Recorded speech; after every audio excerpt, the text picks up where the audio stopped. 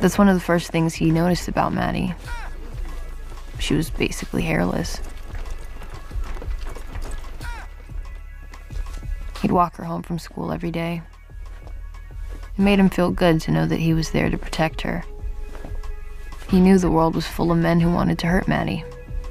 Men who would hang out the windows of their cars and scream obscenities at her. College guys who wouldn't think twice about drugging her. Lonely guys who'd spot her at a mall. Men who'd rape her, torture her, sell her into sexual slavery. He didn't even like to think about it.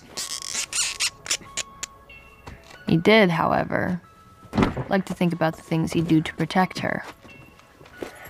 If anyone ever tried to hurt you, I'd kill them.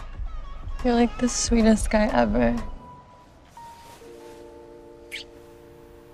He also liked that Maddy was a virgin, that no guy had ever put his penis in her. You're a virgin? Yeah, Like fully? yeah. What about like. Have you ever been fingered? Only my own. Wait, you're alive? Like, what the fuck?